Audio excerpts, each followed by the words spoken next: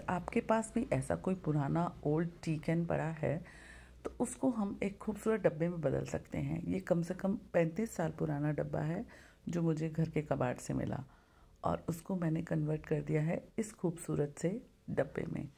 तो चलिए देखते हैं कैसे करना है। नमस्कार दोस्तों, चुनमुन क्राफ्ट्स एंड क्रिएटिविटी में आपका बहुत बहुत स्वागत है और मैं हूँ अपर्णा।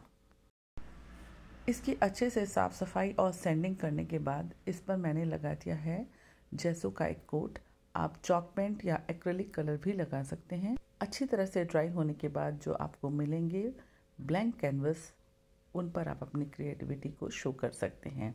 तो देखिए, ड्राई होने के बाद ये कुछ ऐसा लग रहा है। ये हैं कुछ डिज़ाइंस जो मैंने पेपर पे ड्रॉ कर लिए हैं।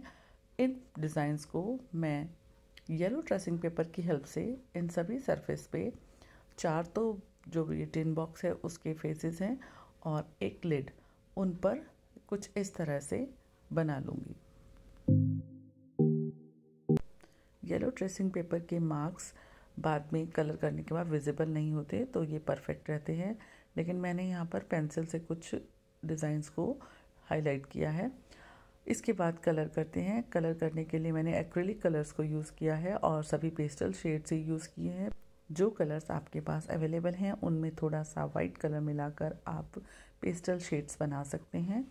और बाकी तो ये बिल्कुल आप पे डिपेंड करता है। आप अपनी चॉइस के कलर्स लगाएँ, आप वाइब्रेंट कलर भी यूज़ कर सकते हैं, जैसे आपको अच्छा लगे। चाहें तो यहाँ पर कोई और आर्ट भी की जा सकती है, मधुबनी, वर्ली या कोई और आर्ट जो आपको पसंद हो। मैं मधुबनी आर्ट और फोक आर्ट्स बहुत ज़्यादा यूज़ करती हूँ तो इस बार मैंने ट्राई किया कि कुछ डिफरेंट किया जाए। तो मैंने कुछ ये पिक्चर्स जो हैं पिंट्रेस्ट से सिलेक्ट की और उनको इस पर बनाया है आपने। जो पिक्चर्स मैंने सेलेक्ट की हैं, उनमें bird butterfly ladybird beetle flowers and snake की पिक्चर्स हैं।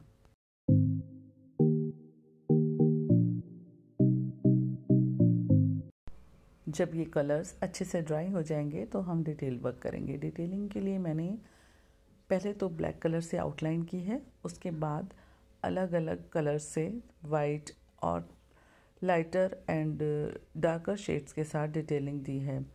जैसा कि आप अभी देखेंगे।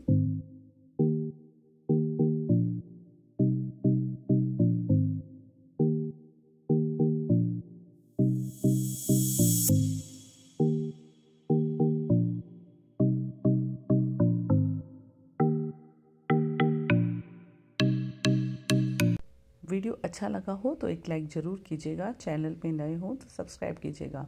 अपने उन दोस्तों के साथ इनको शेयर करना ना भूलें, जो ऐसे आर्ट एंड क्राफ्ट के वीडियोस को देखना पसंद करते हैं। तो चलिए वीडियो में आगे बढ़ते हैं। आपने देखा होगा स्नेक का डिज़ाइन कंप्लीट हो चुका है। अब मैं फ्लावर्स पे काम कर रही हूँ। सिंपल फ्लावर्स हैं, इनको ब्लैक आउटलाइन देकर और जो बैकग्राउंड है, उसमें कुछ डॉट्स के डिज़ाइन दिए हैं। ये सिर्फ़ एक रेफरेंस है, आप चाहें तो अपने डिज़ाइन अपनी पसंद से बना सकते हैं। बटरफ्लाई को भी मैंने कुछ इसी तरह से डिफरेंट डिफरेंट कलर्स के साथ डिटेलिंग के साथ कंप्लीट कर लिया है।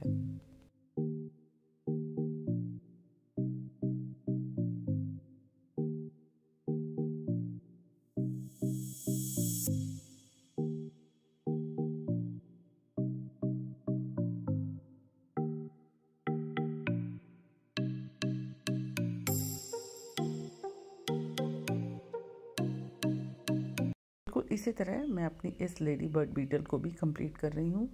इसमें वाइट डॉट्स देने के बाद उसमें कुछ और डिटेलिंग जो कि बैकग्राउंड है, उसमें पोलका डॉट्स और स्ट्राइप्स के साथ देंगे।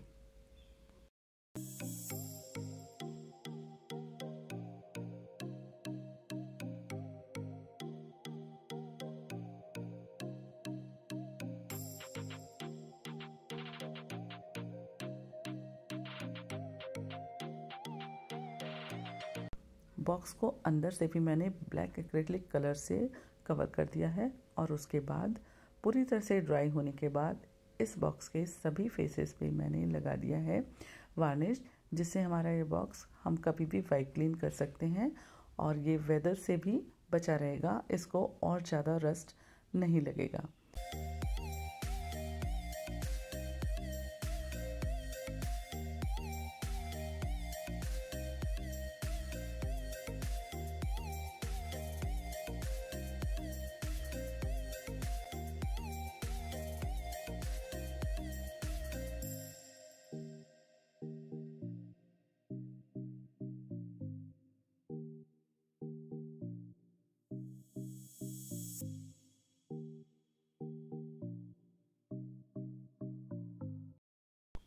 जनमुन क्राफ्ट्स एंड क्रिएटिविटी को अपना वैल्यूबल टाइम देने के लिए बहुत बहुत थैंक यू मिलते हैं अगले किसी वीडियो में नई क्रिएटिविटी के साथ.